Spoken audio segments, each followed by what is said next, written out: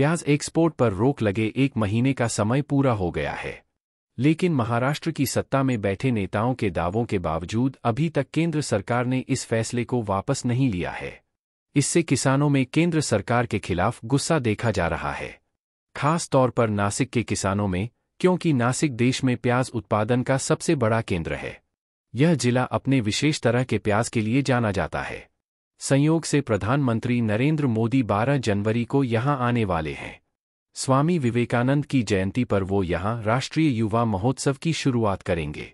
प्याज की निर्यात बंदी से परेशान कुछ किसान सरकार का विरोध करते हुए कह रहे हैं कि प्रधानमंत्री को यहाँ आना ही नहीं चाहिए, क्योंकि यहाँ के किसानों को उनके फैसलों ने बर्बाद कर दिया है।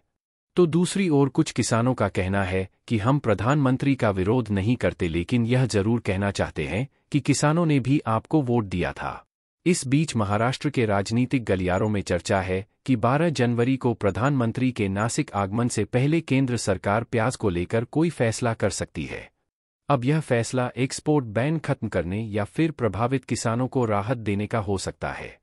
राज्य सरकार भी अपनी ओर से इस तरह का ऐलान कर सकती है। क्योंकि महाराष्ट्र में बीजेपी की अगुवाई में सरकार चल रही है। इसलिए कोई भी नेता यह नहीं चाहेगा कि प्रधानमंत्री के आने से पहले सरकार के खिलाफ किसान गुस्सा ज़ाहिर करें। राज्य सरकार ने फरवरी और मार्च 2023 में किसानों को प्याज के दाम पर 350 रुपए प्रति क्विंटल की मदद दी थी। प्याज एक्सपोर्ट बैन के दो दिन बाद महाराष्ट्र के डिप्टी सीएम देवेंद्र फडणवीस ने वाणिज्य मंत्री पीयूष गोयल से मुलाकात करके कहा था कि प्याज उत्पादक किसानों के हित में जल्दी ही कोई निर्णय लिया जाएगा। लेकिन इस बात को भी एक महीने होने को है, लेकिन अभी तक किसानों के लिए कोई राहत की बात नहीं आई। किसानों का कहना है कि सरकार को महँगाई कम करने की इतनी चिंता है तो अपने पैसे से प्याज बाज़ार भाव पर खरीदे और लोगों को सस्ता बांट दे। लेकिन जानबूझकर प्याज का दाम गिराकर किसानों को नुकसान न पहुंचाएँ। नासिक ज़िले में तो प्याज की खेती ही किसानों की आजीविका का मुख्य साधन है। केंद्र सरकार अगस्त से ही प्याज का दाम बढ़ने नहीं दे रही है। सबसे पहले सरकार ने प्याज के एक्सपोर्ट पर 40 परसेंट ड्यूटी लगाई।